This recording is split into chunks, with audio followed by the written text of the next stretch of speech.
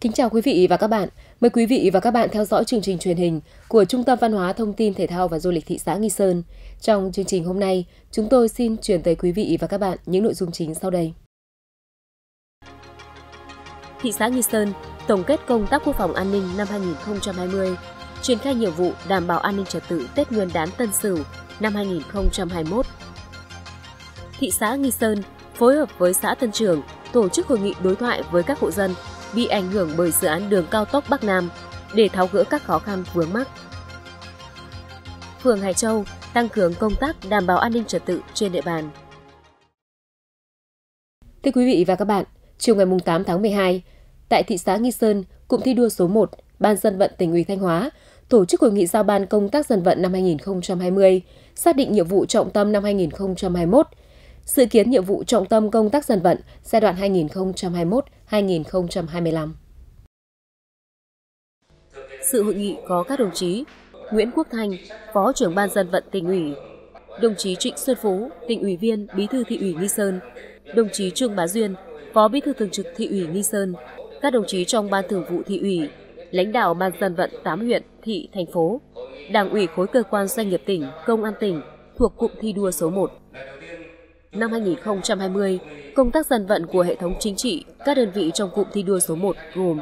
huyện Hoàng Hóa, huyện Nga Sơn, thị xã Bỉm Sơn, thành phố Thanh Hóa, huyện Hậu Lộc, thành phố Sầm Sơn, Công an tỉnh, Đảng ủy khối cơ quan và doanh nghiệp tỉnh, huyện Quảng Sương và thị xã Nghi Sơn đã không ngừng đổi mới nội dung phương thức hoạt động, gắn với chủ đề năm Dân vận khéo năm 2020 với phương châm hướng về cơ sở, bám, nắm chắc địa bàn, nắm chắc tình hình dân vận, tuyên truyền, vận động nhân dân, thực hiện tốt chủ trương, đường lối của Đảng, chính sách pháp luật của nhà nước, tham mưu phát huy hiệu quả công tác dân vận, giải quyết kịp thời các vấn đề mới, những vướng mắc phát sinh trong quá trình thực hiện nhiệm vụ, vận động nhân dân thực hiện tốt các biện pháp phòng chống dịch bệnh COVID-19, công tác giải phóng mặt bằng, di dân tái định cư, xây dựng nông thôn mới.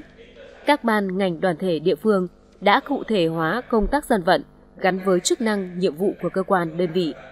Các phong trào thi đua, các cuộc vận động tiếp tục được triển khai sâu rộng, đồng bộ, thu hút đông đảo các tầng lớp nhân dân tham gia,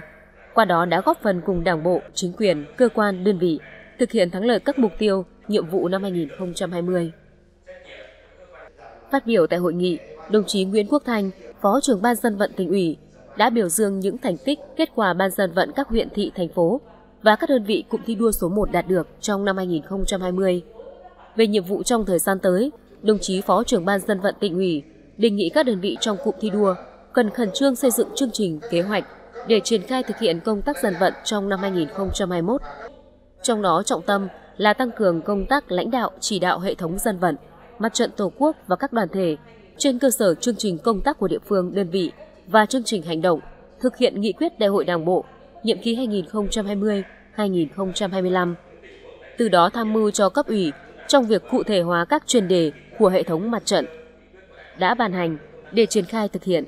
tiếp tục thực hiện có hiệu quả phong trào thi đua dân vận khéo, tạo sức lan tỏa trong đời sống nhân dân, nhất là dân vận khéo trong xây dựng nông thôn mới, văn minh đô thị, giải phóng mặt bằng, tham mưu đề xuất giải quyết kịp thời các vấn đề bất cập, vướng mắc phát sinh ở cơ sở. Tại hội nghị, đại diện Hội đồng thi đua khen thưởng Ban dân vận tỉnh ủy đã thông qua kết quả chấm điểm thi đua của các đơn vị trong cụm thi đua số 1 năm 2020. Thưa quý vị và các bạn, ngày 9 tháng 12, Ủy ban nhân dân thị xã Nghi Sơn tổ chức hội nghị tổng kết công tác quốc phòng an ninh năm 2020, triển khai nhiệm vụ đảm bảo an ninh trật tự Tết Nguyên đán Tân Sửu năm 2021. Sự hội nghị có đại tá Đỗ Văn Minh, Chính ủy Bộ Chỉ huy Quân sự tỉnh, đồng chí Trịnh Xuân Phú, tỉnh ủy viên, bí thư thị ủy Nghi Sơn, đồng chí Trương Bá Duyên, phó bí thư thường trực thị ủy, đại diện Bộ Chỉ huy Bộ đội Biên phòng tỉnh, Công an tỉnh. Các đồng chí Nguyễn Tiến Dũng, Phó Bí thư thị ủy, Chủ tịch Ủy ban nhân dân thị xã, Hoàng Văn Hiền, Ủy viên Ban Thường vụ thị ủy, Chỉ huy trưởng Ban Chỉ huy quân sự thị xã, Trịnh Văn Giang, Ủy viên Ban Thường vụ thị ủy, trưởng Công an thị xã, đồng chủ trì hội nghị. Năm 2020, Thị ủy, Ủy ban Nhân dân thị xã Nghi Sơn đã ban hành nhiều văn bản, chỉ thị để lãnh đạo, chỉ đạo, thực hiện có hiệu quả công tác quốc phòng an ninh. Qua đó góp phần ổn định an ninh chính trị, trật tự an toàn xã hội, tạo điều kiện thuận lợi để phát triển kinh tế xã hội và đảm bảo an ninh trật tự trên địa bàn khu kinh tế Nghi Sơn. Các lực lượng công an, ban chỉ huy quân sự, ban chỉ huy đồn biên phòng cửa khẩu cảng Nghi Sơn, đồn biên phòng Hải Hòa đã làm tốt công tác phối hợp với các cơ quan, đơn vị, cấp ủy, chính quyền các xã phường, cập nhật thông tin, định hướng tuyên truyền chủ trương, đường lối của Đảng, pháp luật của nhà nước có liên quan đến nhiệm vụ quốc phòng an ninh trong tình hình mới. Trong năm 2020, Công an thị xã đã xây dựng được 94 bản tin an toàn giao thông, tổ chức 15 lớp huấn luyện nghiệp vụ phòng cháy chữa cháy và cứu nạn cứu hộ, thu hút 2.130 người tham gia, tổ chức 7 buổi truyền thông tuyên truyền kiến thức về trật tự an toàn giao thông, thu hút trên 43.000 công nhân và chủ tàu thuyền tham gia. Các lực lượng biên phòng đứng chân trên địa bàn đã triển khai có hiệu quả đề án tuyên truyền phổ biến giáo dục pháp luật cho cán bộ và nhân dân vùng biên giới hải đảo giai đoạn 2017-2021. Cùng với đó, nhiệm vụ sẵn sàng chiến đấu, xây dựng thế trận quốc phòng toàn dân gắn với thế trận an ninh nhân dân – thế trận biên phòng vững chắc, phát huy sức mạnh của cả hệ thống chính trị để thực hiện công tác quốc phòng an ninh. Năm 2021, dự báo tình hình thế giới, khu vực còn nhiều diễn biến phức tạp, khó lường, thị xã Nghi Sơn tiếp tục tăng cường sự lãnh đạo chỉ đạo của cấp ủy chính quyền về nhiệm vụ quốc phòng an ninh, chủ động nắm chắc tình hình, phát huy sức mạnh của cả hệ thống chính trị, sức mạnh của toàn dân, tiếp tục giữ vững ổn định chính trị xã hội, đảm bảo vững chắc quốc phòng an ninh, kết hợp chặt chẽ giữa xây dựng, củng cố quốc phòng an ninh với phát triển kinh tế xã hội, kịp thời phát hiện và giải quyết những mâu thuẫn phát sinh từ cơ sở, không để diễn biến phức tạp, đột xuất, bất ngờ xảy ra. Xây dựng nền quốc phòng toàn dân gắn với thế trận an ninh nhân dân, biên phòng toàn dân vững mạnh, làm nòng cốt tham mưu và thực hiện nhiệm vụ quốc phòng an ninh, tạo nền tảng vững chắc cho việc xây dựng và phát triển kinh tế xã hội, trên địa bàn thị xã. Tại hội nghị, Ủy ban nhân dân thị xã Nghi Sơn cũng đã quán triệt chỉ thị của Ban Thường vụ thị ủy về tăng cường lãnh đạo, chỉ đạo, triển khai kế hoạch đảm bảo an ninh trật tự trước, trong và sau Tết Nguyên đán Tân Sửu 2021, đồng thời thực hiện việc ký kết giữa Chủ tịch Ủy ban nhân dân các xã phường với Chủ tịch Ủy ban nhân dân thị xã Nghi Sơn về nhiệm vụ công tác đảm bảo an ninh trật tự trước, trong và sau Tết Nguyên đán Tân Sửu 2021. Phát biểu tại hội nghị, Đại tá Đỗ Văn Minh, Chính ủy Bộ Chỉ huy Quân sự tỉnh và đồng chí Trịnh Xuân Phú, tỉnh ủy viên, Bí thư thị ủy Nghi Sơn đã biểu dương những thành tích, kết quả mà cấp ủy chính quyền từ thị xã đến cơ sở đạt được trong công tác quốc phòng an ninh năm 2020. Đồng chí Bí thư thị ủy Nghi Sơn nhấn mạnh, để thực hiện thắng lợi các mục tiêu nhiệm vụ năm 2021 và bảo đảm an ninh trật tự Tết Nguyên đán Tân Sửu năm 2021, tôi đề nghị các cấp ủy, chính quyền, các ban ngành đoàn thể từ thị xã đến cơ sở tập trung làm tốt một số nội dung sau. Một, tiếp tục tăng cường lãnh đạo, chỉ đạo, đẩy mạnh công tác tuyên truyền, quán triệt, triển khai thực hiện chủ trương, chính sách của Đảng, pháp luật của nhà nước về nhiệm vụ quốc phòng an ninh, tăng cường xây dựng củng cố tiềm lực quốc phòng an ninh, xây dựng vững chắc thế trận quốc phòng toàn dân gắn với thế trận an ninh nhân dân và thế trận biên phòng toàn dân. Lãnh đạo chỉ đạo giữ vững kỷ luật kỷ cương, xây dựng tổ chức trong sạch vững mạnh gắn với xây dựng cơ quan, đơn vị vững mạnh toàn diện, tăng cường giáo dục, rèn luyện, xây dựng đội ngũ cán bộ, các lực lượng vũ trang vững mạnh, thực hiện tốt công tác tuyển quân và giao quân năm 2021 theo đúng kế hoạch. 2 các lực lượng vũ trang phải tuân thủ và bám sát sự lãnh đạo chỉ đạo của cấp ủy chính quyền các cấp phục vụ có hiệu quả các nhiệm vụ phát triển kinh tế xã hội bảo đảm quốc phòng an ninh duy trì nghiêm chế độ trực sẵn sàng chiến đấu tăng cường công tác nắm và dự báo kịp thời chính xác tình hình cơ sở xử lý kịp thời hiệu quả các tình huống không để bị động bất ngờ bảo đảm tuyệt đối an ninh an toàn phục vụ đại hội đại biểu toàn quốc lần thứ 13 của đảng bầu cử đại biểu quốc hội khóa 15 và đại biểu Hội đồng Nhân dân các cấp nhiệm kỳ 2021-2026. 3. Nâng cao chất lượng xây dựng cơ sở, cụm an toàn làm chủ, chủ động bảo vệ vững chắc vùng biển, đảo, tiếp tục xây dựng, củng cố tuyến biên phòng các phường, xã ven biển, tiếp tục triển khai thực hiện các giải pháp về phòng ngừa tội phạm và đấu tranh phòng chống tội phạm làm tốt công tác quản lý nhà nước về tôn giáo, đẩy mạnh và nâng cao chất lượng hiệu quả công tác điều tra, truy tố, xét xử, thường xuyên tuần tra, kiểm soát, bảo đảm an toàn giao thông, thực hiện đồng bộ, quyết liệt các biện pháp kiềm chế tai nạn giao thông, công tác phòng chống cháy nổ. 4. Tăng cường củng cố ban chỉ huy quân sự xã phường, lực lượng dân quân tự vệ, dự bị động viên, lực lượng công an xã, phường đủ về số lượng, nâng cao chất lượng theo hướng chuẩn hóa về trình độ chuyên môn. Năm là tiếp tục đẩy mạnh và nâng cao hiệu quả phong trào đền ơn đáp nghĩa, uống nước nhớ nguồn, kết hợp chặt chẽ giữa giải quyết các vấn đề về chính sách an sinh xã hội và ưu tiên chính sách hậu phương quân đội. Đối với nhiệm vụ ừ, trọng tâm để đảm bảo an ninh trật tự Tết Nguyên đán thì đề nghị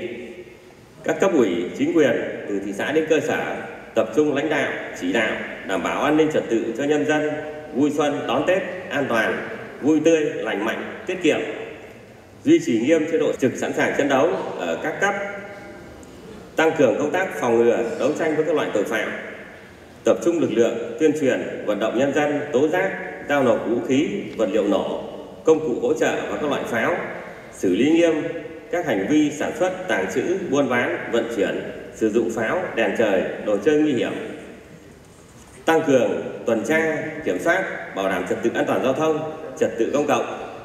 đẩy mạnh công tác tuyên truyền, nâng cao nhận thức của quần chúng nhân dân về chấp hành luật giao thông và giảm thiểu tai nạn giao thông, thực hiện tốt chính sách hậu phương quân đội. Kính từ hội nghị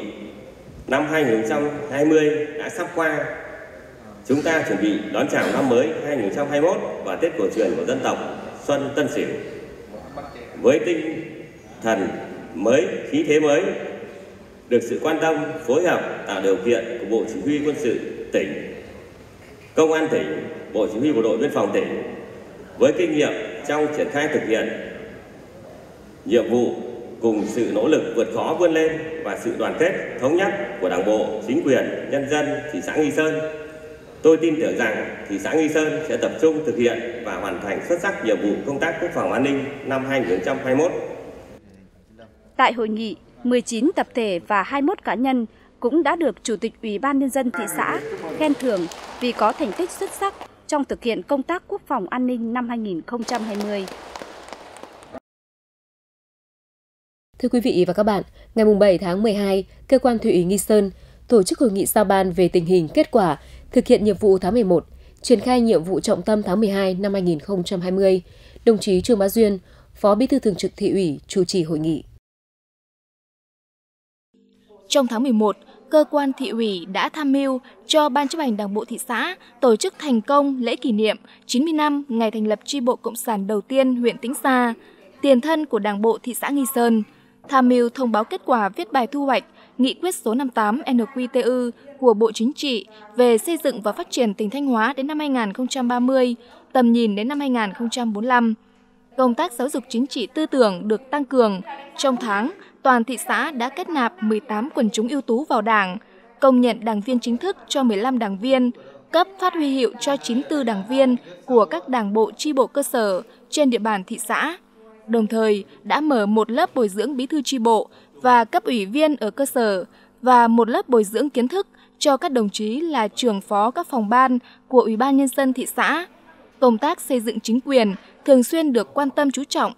Mặt trận Tổ quốc, các đoàn thể chính trị xã hội tiếp tục đổi mới nội dung và hình thức hoạt động.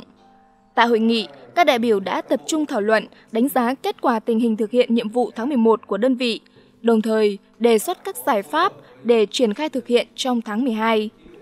Kết luận tại hội nghị, đồng chí Phó Bí thư Thường trực Thị ủy Trương Bá Duyên đã đánh giá cao kết quả mà các ban ngành đoàn thể chính trị đạt được. Đồng chí cũng đề nghị trong thời gian tới cần tập trung thực hiện một số nhiệm vụ trọng tâm như cần quán triệt triển khai các chỉ thị, nghị quyết của Trung ương, của tỉnh và thị ủy, tiến hành kiểm tra, đánh giá chất lượng tổ chức cơ sở đảng và nghiệp vụ đảng viên đối với các đảng bộ tri bộ cơ sở, tập trung giả soát, hoàn thành các chỉ tiêu và nhiệm vụ trong năm 2020. Thưa quý vị và các bạn, vừa qua Ban dân vận thị ủy tổ chức hội nghị giao ban với Mặt trận Tổ quốc và các đoàn thể chính trị xã hội thị xã để đánh giá kết quả hoạt động tháng 11 và triển khai nhiệm vụ tháng 12 năm 2020. Đồng chí Trương Bá Duyên, Phó Bí thư Thường trực Thị ủy, chủ trì hội nghị. Trong tháng 11 năm 2020, Mặt trận Tổ quốc và các đoàn thể chính trị xã hội đã làm tốt công tác tuyên truyền, vận động nhân dân, tích cực chủ động trong phòng chống thiên tai, dịch bệnh, tham gia các phong trào thi đua, các cuộc vận động, xây dựng nông thôn mới, đô thị văn minh, nhất là tích cực hưởng ứng lời kêu gọi ủng hộ đồng bào vùng lũ miền Trung. Đến ngày 30 tháng 11, toàn thị xã quyên góp được hơn 4 tỷ đồng. Mặt trận Tổ quốc và các đoàn thể đã phối hợp hoạt động trên nhiều lĩnh vực. Đồng thời, triển khai thực hiện các nhiệm vụ của đơn vị. Trong đó, Mặt trận Tổ quốc tập trung tuyên truyền và tổ chức lễ kỷ niệm 90 năm ngày thành lập Mặt trận Dân tộc Thống nhất Việt Nam – lựa chọn 15 khu dân cư tổ chức điểm Ngày hội đại đoàn kết toàn dân tộc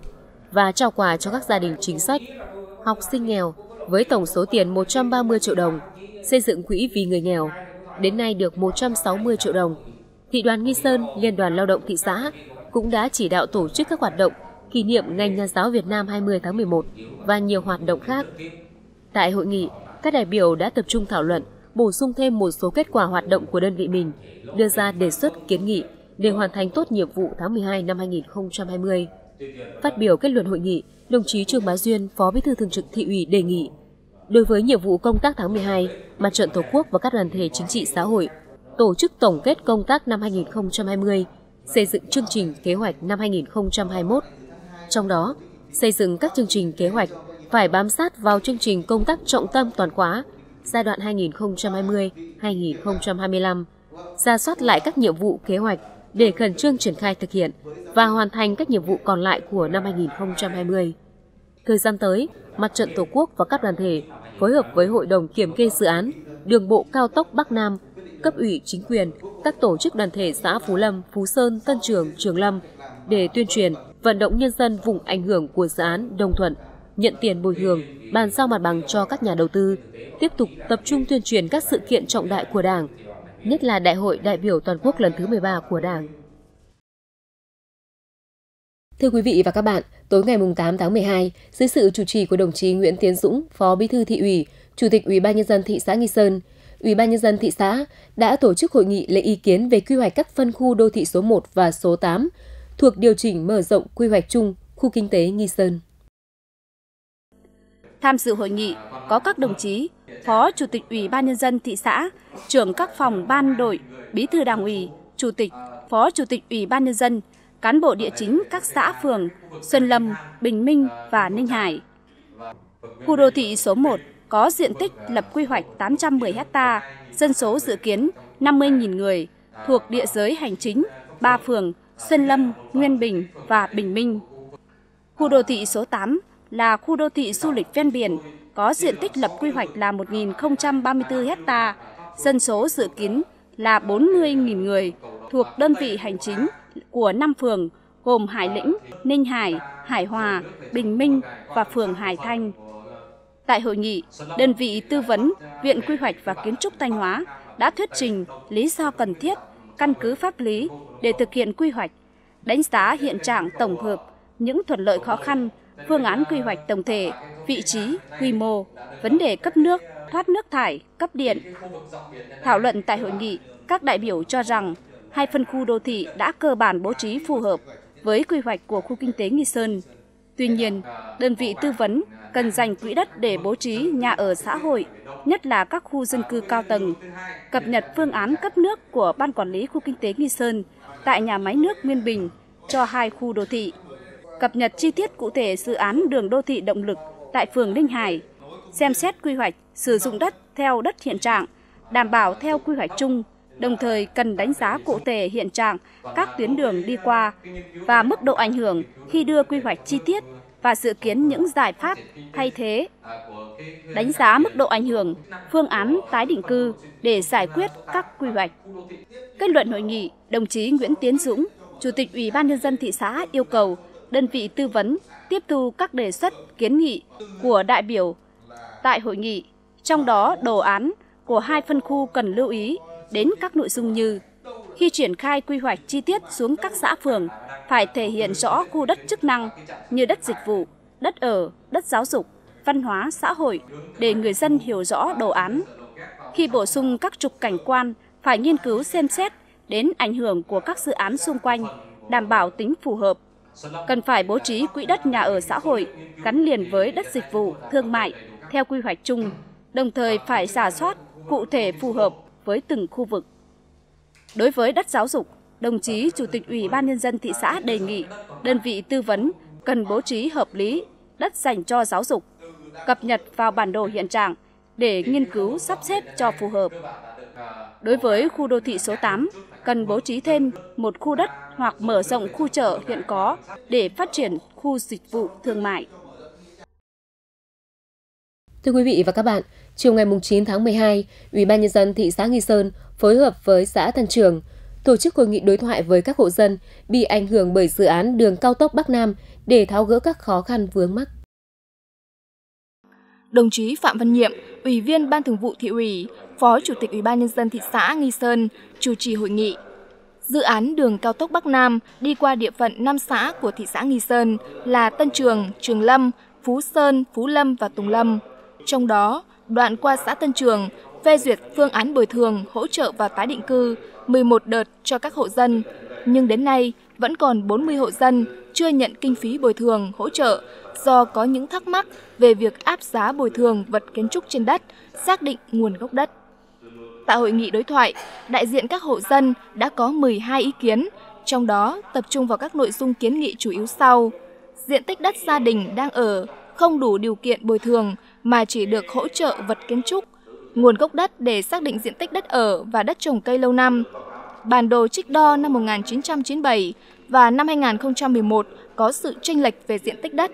Việc áp giá bồi thường vật kiến trúc trên đất còn thấp so với giá thị trường hiện nay. Với tinh thần cầu thị lắng nghe, đồng chí Phạm Văn Nhiệm, Phó Chủ tịch Ủy ban nhân dân thị xã Nghi Sơn khẳng định dự án đường cao tốc Bắc Nam là dự án cấp quốc gia. Tuy nhiên, công tác giải phóng mặt bằng gặp quá nhiều khó khăn, vướng mắc nên đã ảnh hưởng đến quá trình thi công toàn tuyến. Trên tinh thần chỉ đạo của tỉnh, trước ngày 31 tháng 12, phải hoàn thành xong việc đối thoại để cùng tháo gỡ các vướng mắc, vừa đảm bảo quyền lợi của nhân dân nhưng cũng phải tuân thủ đúng các quy định của pháp luật. Qua hội nghị đối thoại này, đồng chí Phó Chủ tịch Ủy ban nhân dân thị xã yêu cầu Hội đồng bồi thường xây dựng kế hoạch làm việc cụ thể với từng nhóm ý kiến của hộ gia đình để giải thích, tuyên truyền, vận động. Đối với các vấn đề, nội dung vượt thẩm quyền thì hướng dẫn người dân làm đơn. Bên cạnh đó, đồng chí cũng nhấn mạnh việc tham vấn luật sư phải đúng người đúng việc để tránh tình trạng nhân dân bị lợi dụng về kinh tế. Sau khi đã thực hiện đầy đủ các quy trình thủ tục của công tác bồi thường mà các hộ dân vẫn không bàn giao mặt bằng thì sẽ phải tiến hành cưỡng chế để đảm bảo thi công dự án. Thưa quý vị và các bạn, ngày 9 tháng 12, Tổ thẩm định xã phường thị trấn An toàn thực phẩm tỉnh Thanh Hóa do đồng chí Hà Văn Giáp, Phó Tránh Văn phòng điều phối về vệ sinh an toàn thực phẩm tỉnh làm trưởng đoàn, cùng các thành viên trong Tổ thẩm định An toàn thực phẩm tỉnh đã tổ chức thẩm định hồ sơ và đánh giá kết quả các tiêu chí xã an toàn thực phẩm tại ba xã Định Hải, Hải Nhân và Anh Sơn. Tham gia làm việc với tổ thẩm định về phía thị xã Nghi Sơn có đồng chí Mai Sĩ Lân, Ủy viên Ban Thường vụ Thị ủy, Phó Chủ tịch Ủy ban Nhân dân thị xã, các thành viên Văn phòng Điều phối An toàn thực phẩm thị xã, lãnh đạo Đảng ủy, chính quyền, các đoàn thể chính trị xã hội của ba xã theo báo cáo kết quả tự đánh giá việc thực hiện các tiêu chí xã an toàn thực phẩm, Ủy ban nhân dân ba xã Định Hải, Hải Nhân và Anh Sơn đã thành lập ban chỉ đạo về quản lý an toàn thực phẩm, thành lập ban nông nghiệp quản lý vệ sinh an toàn thực phẩm xã, thành lập các tổ giám sát cộng đồng thôn, ban hành quy chế, kế hoạch hoạt động của ban chỉ đạo, ban nông nghiệp và tổ giám sát cộng đồng thôn, chỉ đạo xây dựng bếp ăn tập thể ở trường mầm non, cơ sở giết mổ gia súc gia cầm đủ điều kiện vệ sinh an toàn thực phẩm theo quy định các cửa hàng kinh doanh đáp ứng các điều kiện vệ sinh an toàn thực phẩm, tổ chức tập huấn, phổ biến kiến thức vệ sinh an toàn thực phẩm cho cán bộ quản lý, các hộ sản xuất kinh doanh thực phẩm và nhân dân trên địa bàn. Tổ chức xác nhận nguồn gốc xuất xứ các sản phẩm và các đợt kiểm tra, giám sát các cơ sở sản xuất, chế biến, kinh doanh dịch vụ ăn uống. Công tác thông tin tuyên truyền về vệ sinh an toàn thực phẩm được các địa phương quan tâm triển khai sâu rộng đến các tầng lớp nhân dân bằng nhiều hình thức để nhân dân biết và tự giác thực hiện. Qua kết quả tự đánh giá, ba xã Định Hải, Hải Nhân và Anh Sơn đã đạt 16 nội dung trong tổng số 4 trên 4 nhóm tiêu chí an toàn thực phẩm. Sau khi nghe báo cáo, thẩm định hồ sơ và kiểm tra thực tế tại một số cơ sở sản xuất kinh doanh trên địa bàn các xã, các thành viên trong tổ thẩm định an toàn thực phẩm tỉnh đã nêu rõ một số tồn tại ở các nhóm tiêu chí, đồng thời đề xuất các giải pháp để ba xã tiếp tục hoàn thiện để được công nhận xã an toàn thực phẩm. Phát biểu tại hội nghị, đồng chí Hà Văn Giáp, Phó Tránh Văn phòng điều phối về vệ sinh an toàn thực phẩm tỉnh, ghi nhận và đánh giá cao sự vào cuộc tích cực của các địa phương trong công tác đảm bảo an toàn thực phẩm, đồng thời yêu cầu xã Định Hải phải họp lại ban chỉ đạo về quản lý an toàn thực phẩm xã, phân công nhiệm vụ cụ thể rõ ràng cho từng thành viên để tiếp tục triển khai quyết liệt công tác an toàn thực phẩm trên địa bàn, ra soát lại toàn bộ số liệu để điều chỉnh cho đầy đủ và phù hợp. Xã Hành Nhân tiếp tục nâng cao chất lượng các tiêu chí an toàn thực phẩm, tăng cường tổ chức kiểm tra, phát hiện các vi phạm về an toàn thực phẩm, nhất là trong dịp Tết Nguyên đán. Kiểm tra các cơ sở giết mổ để yêu cầu ký cam kết không giết mổ hoặc đã tạm dừng. Xã Anh Sơn trong thời gian sớm nhất thành lập đoàn kiểm tra các cơ sở chế biến kinh doanh thực phẩm trên địa bàn. Đồng chí Phó Tránh Văn phòng điều phối về vệ sinh an toàn thực phẩm tỉnh cũng đề nghị các địa phương khắc phục những hạn chế mà các thành viên trong tổ thẩm định đã góp ý nhập dữ liệu vệ sinh an toàn thực phẩm vào phần mềm quản lý, huy động sự vào cuộc của cả hệ thống chính trị để tham gia vào công tác đảm bảo an toàn thực phẩm. Công việc này phải được triển khai xuyên suốt liên tục, hàng năm, sơ kết, tổng kết để đánh giá. Tăng cường thông tin tuyên truyền, nâng cao nhận thức của người dân về an toàn thực phẩm. Đề nghị Văn phòng Điều phối An toàn thực phẩm thị xã tiếp tục tăng cường chỉ đạo, hướng dẫn để các xã nâng cao chất lượng các tiêu chí xã an toàn thực phẩm. Tại hội nghị thẩm định Đồng chí Mai Sĩ Lân, Ủy viên Ban Thường vụ Thị ủy, Phó Chủ tịch Ủy ban nhân dân thị xã cảm ơn các thành viên trong tổ thẩm định an toàn thực phẩm tỉnh. Đồng thời đề nghị ba xã Định Hải, Hải Nhân và Anh Sơn nghiêm túc tiếp thu các ý kiến để tập trung lãnh đạo, chỉ đạo quyết liệt, kiên trì các nhiệm vụ đảm bảo vệ sinh an toàn thực phẩm trên địa bàn để tiếp tục hoàn thiện và nâng cao chất lượng các tiêu chí an toàn thực phẩm trong thời gian tới. Thưa quý vị và các bạn, Ngày 8 tháng 12, tại Trung tâm Chính trị thị xã, Ủy ban Nhân dân thị xã Nghi Sơn đã tổ chức hội nghị tập huấn luật dân quân tự vệ và luật lực lượng dự bị động viên. Phát biểu khai mạc hội nghị, đồng chí Mai Sĩ Lân, Ủy viên Ban Thường vụ Thị ủy, Phó Chủ tịch Ủy ban Nhân dân thị xã nhấn mạnh, luật dân quân tự vệ và luật lực lượng dự bị động viên được Quốc hội thông qua tại kỳ họp thứ 8 khóa 14 và có hiệu lực thi hành từ ngày 1 tháng 7 năm 2020. Đây là những văn bản pháp lý quan trọng khẳng định quan điểm của Đảng, Nhà nước về chiến lược quốc phòng, xây dựng lực lượng dân quân tự vệ và dự bị động viên đáp ứng yêu cầu nhiệm vụ, có chất lượng toàn diện, sẵn sàng thực hiện nhiệm vụ trong tình huống diễn ra và kịp thời bổ sung cho lực lượng thường trực quân đội khi có yêu cầu. Góp phần bảo vệ vững chắc Tổ quốc trong tình hình mới – để hội nghị tập huấn đạt kết quả, đồng chí Phó Chủ tịch Ủy ban Nhân dân thị xã đề nghị các báo cáo viên truyền đạt các nội dung đúng đường lối, quan điểm của Đảng, chính sách pháp luật của nhà nước, thông tin chính xác, sát thực tế, nhất là những nội dung mới của luật. Các đại biểu tập trung nghiên cứu, nắm vững các nội dung. Ban chỉ huy quân sự thị xã phối hợp với Trung tâm Chính trị thị xã thực hiện tốt công tác phục vụ, đảm bảo an ninh an toàn. Trong một phần hai ngày, các đại biểu đã được nghe báo cáo viên giới thiệu những nội dung cơ bản của luật dân quân tự vệ và luật lực lượng dự bị động viên. Các nghị định của chính phủ quy định chi tiết về hướng dẫn thi hành luật bao gồm Nghị định 72 của Chính phủ về tổ chức xây dựng lực lượng và chế độ chính sách đối với dân quân tự vệ. Nghị định 02 của Chính phủ quy định về hoạt động phối hợp của dân quân tự vệ.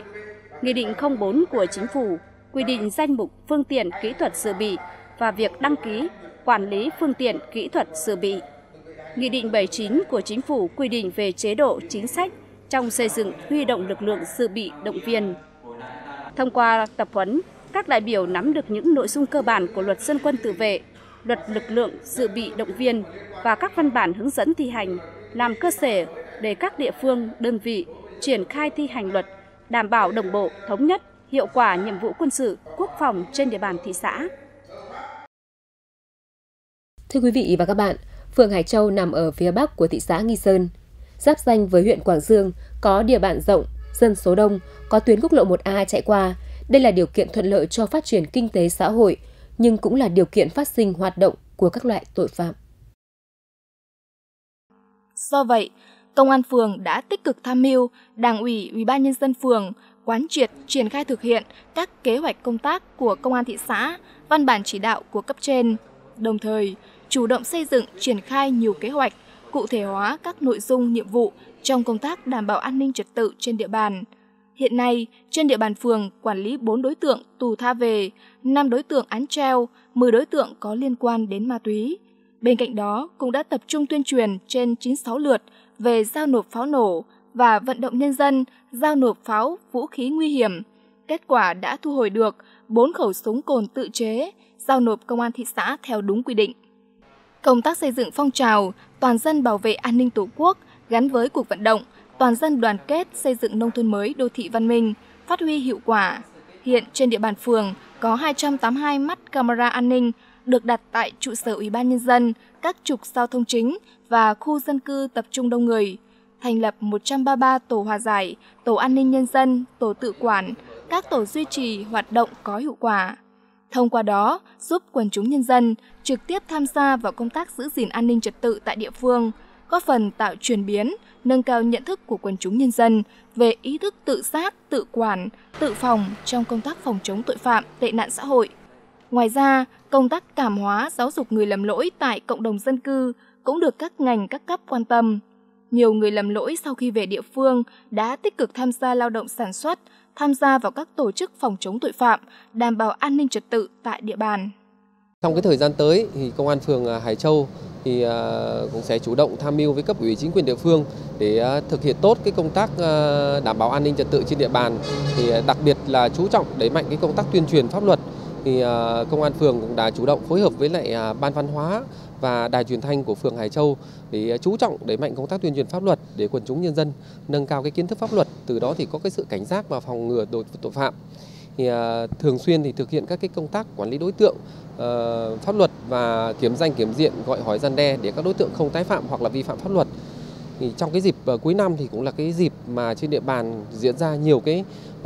lễ lớn thì à, đặc biệt là gần đây nhất thì sẽ có cái lễ Noel năm 2020 thì diễn ra trên cái địa bàn à, giáo xứ Hoài Yên thì có hai giáo họ à, Thủy Cơ và Trị Sở ờ, thì công an phường cũng đã chủ động tham mưu cho ban chỉ đạo an ninh trật tự của phường thì ban hành những cái kế hoạch và phương án ờ, đảm bảo an ninh trật tự an toàn tuyệt đối ờ, và trật tự an toàn giao thông trong cái lĩnh vực này để đảm bảo tuyệt đối an toàn. Và bên cạnh đó, dịp cuối năm thì cũng là à, cái Tết cổ truyền à, Tết Nguyên đán à, Tân Sửu năm 2021 diễn ra. Đây là sự kiện hết sức là quan trọng bởi vì bởi vậy mà ban chỉ đạo an ninh trật tự của phường cũng đã chú trọng cái công tác tuyên truyền vận động quần chúng nhân dân không vi phạm những cái quy định về pháo nổ và tuyên truyền để bà con hiểu biết được pháp luật rộng rãi. Từ đó có những cái giao nộp vũ khí, công cụ hỗ trợ và những cái pháo trái phép Chương trình truyền hình của Trung tâm Văn hóa Thông tin Thể thao và Du lịch thị xã Nghi Sơn đến đây là hết. Cảm ơn sự quan tâm theo dõi của quý vị và các bạn. Xin kính chào và hẹn gặp lại.